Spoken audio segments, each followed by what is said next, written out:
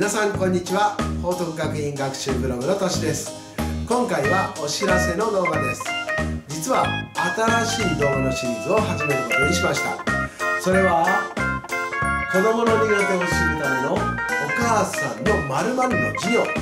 というシリーズです。このシリーズを始めます、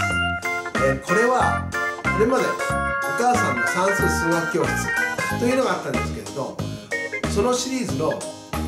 理科社会英語版です、えー、今回新しい動画のシリーズの目的これは小学生とか中学生の子どもたちが、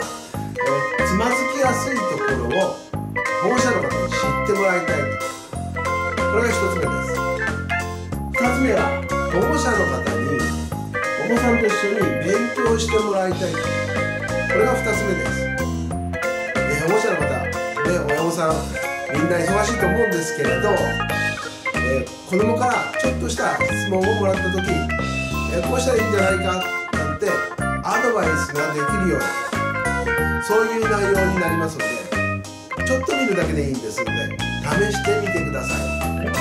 と内容は理科と社会と英語について問題を解くという考え方それから覚えるための明した動画になります。是非、ね、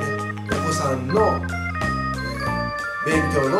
役に立てるように。もちろんタイトルは「お母さんの」とありますが、えー、お子さん自身、ね、おじいちゃんおばあちゃんもちろんお父さんも見てえあこうやって教えればいいか、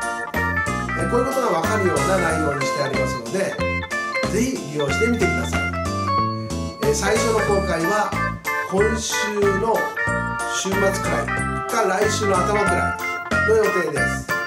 どうぞよろしくお願いします。今日も最後まで見ていただきどうもありがとうございました。ではまたお会いしましょう。さようなら。